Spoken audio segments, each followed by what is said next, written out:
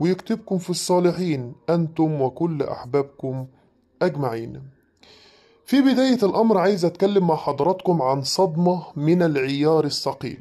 صدمة كبيرة جدا وورطة بتواجه النادي الأهلي في تجديد ملف علي معلول. وأعتقد بعد الكلام اللي حضرتك هتسمعه ده رسميا علي معلول خارج النادي الأهلي الموسم القادم. إلا لو حصل جديد في المفاوضات.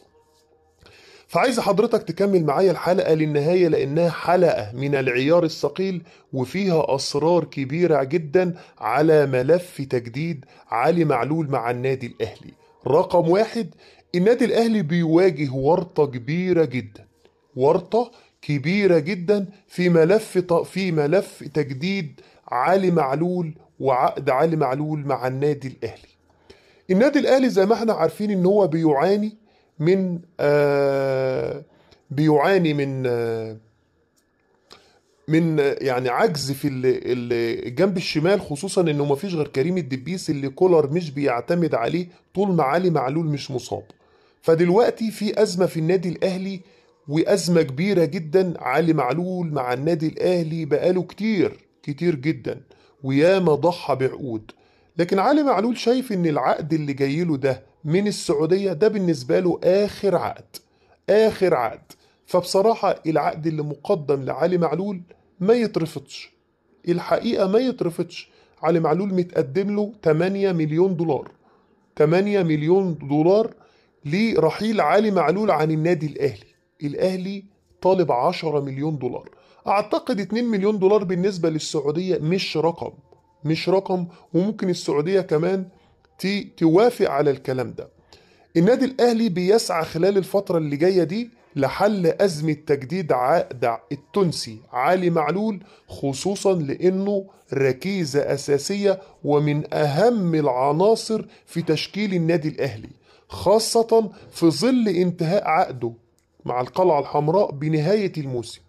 يعني علي معلول على فكرة كان المفروض يجدد لأي نادي في يناير اللي فات ولكن ما عملهاش. الاهلي عايز يجدد له لأنه عقده بينتهي بنهاية الموسم. موقع صدى البلد علم إن علي معلول رفض عرض النادي الأهلي لتجديد عقده لموسم واحد بالمقابل المادي الذي عرضه النادي على اللاعب أو لمدة موسمين مع قبوله تخفيض راتبه. يعني الاهلي عايز يجدد له موسم واحد بالقيمة المالية اللي علي معلول بيتقاضاها دلوقتي.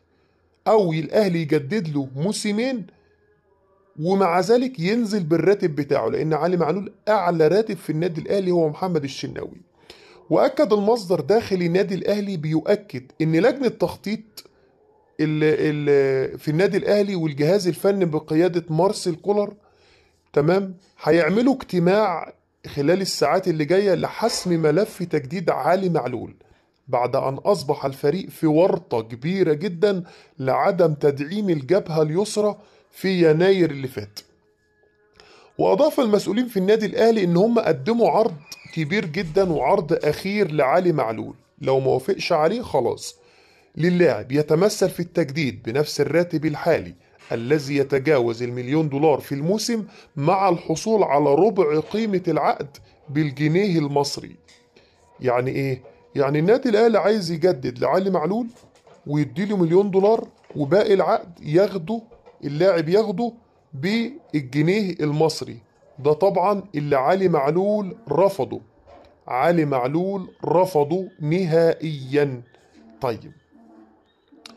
آه رحيل علي معلول عن النادي الاهلي دي هتكون مفاجأة من العيار الثقيل. مفاجأة من العيار الثقيل في النادي الاهلي. يبدو كده إن في فعلا مفاجأة. يعني يبدو فعلا إن رحيل علي معلول هيبقى مفاجأة كبيرة جدا وترند ما في ما فيش بعد كده ترند بشأن مستقبل التونسي مع فريق النادي الأهلي خلال الفترة المقبلة في ظل تقارير تتحدث عن رحيله.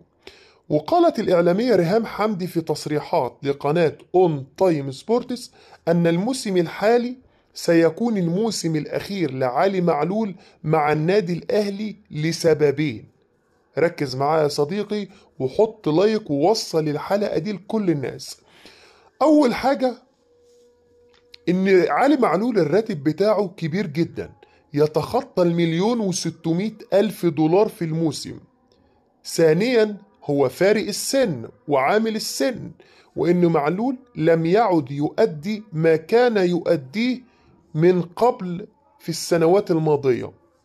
وقال كمان الإعلامية ريهام حمدي قالت إن كولر لم يطلب رحيل علي معلول عن النادي الأهلي ولكنه قرار شركة الكرة ولجنة التخطيط بالنادي. ومعلول حاليا يبحث حاليا عن عرض خليجي في الموسم المقبل والأقرب نادي النصر السعودي أو الهلال السعودي. ده بالنسبة زي ما قلت لحضراتكم. معلول بياخد مليون وستمائة ألف دولار في الموسم. يعني معلول يخش كده على الخمسة وستين مليون جنيه في الموسم. تمام؟ فاللي وضحت الكلام ده مين؟ الإعلامية ريهام حمدي. ريهام حمدي. آه كمان أكدت أكدت الإعلامية ريهام حمدي تمام؟ بتكشف بالأسماء بالأسماء تمام؟ إن لاعب زد على رادار النادي الأهلي لاعب زد على رادار النادي الأهلي.